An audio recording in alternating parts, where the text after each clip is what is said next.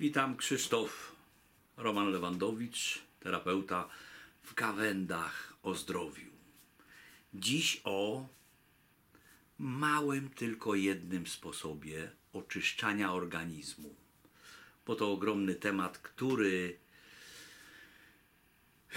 obecnie jest wszędzie istniejący.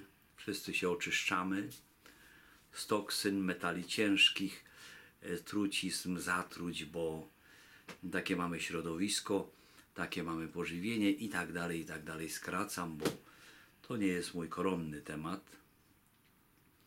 E, Wiecie, jaki jest najlepszy cios? No, ten zaskakujący.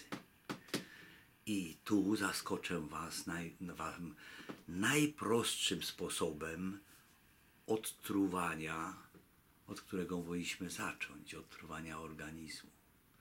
Wszystko zaczyna się od jamy ustnej. No nie tylko, bo i z powietrza, wody i tak dalej, ale od jamy ustnej rozpoczyna się cały proces trawienny, bo tu przyjmujemy do buzi nasze paliwko, płyny i pokarmy, które później różnie reagują na, właściwie to nasze organy różnie reagują na zetknięcie się i zasiedzenie się tych pokarmów i płynów w naszej świątyni, organizmie. Otóż rano nadczo naszykowałem tu taki olejek i z butelki go sobie łyknę, nie przełykając.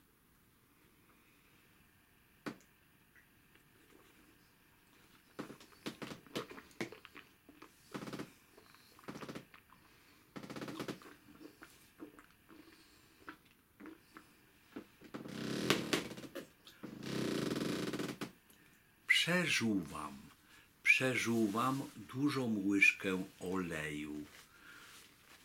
Najprościej słonecznikowego. Po co? Po to, bo on oczyszcza nasz organizm. Zaczynając od jamy ustnej.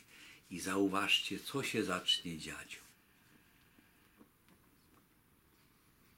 Żując ten olej w buzi, gdy poczujemy, że jest rzadki, zaczyna być gorzki, rzadki, to go wypluwamy.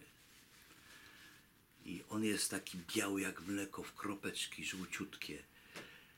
Jak długo go będziemy żuli, zależy od tego, żeby taki był. Jak zabrudzony jest organizm. Niektórzy się zdziwią, że już po kilku sekundach będą musieli go wypluć. Świadczy to o tym, żeby robili to codziennie, aż dojdą do tego momentu, kiedy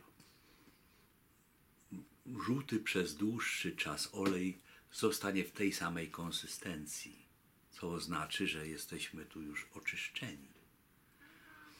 Oczyszczenie to wielka rzecz i każdy z Was o tym wie. Dzisiaj podałem najprostszy, zaskakujący może niektórych sposób. Rzucie na czczo oleju buzi i wyplucie go, gdy czujemy, że jest rzadziutki, że robi się biały. Oczyszczeni, jak powtarzam, będziemy wtedy, w tej pierwszej fazie, jak rzucie nam już nic nie da, czyli jego konsystencja się nie zmieni. Do następnego razu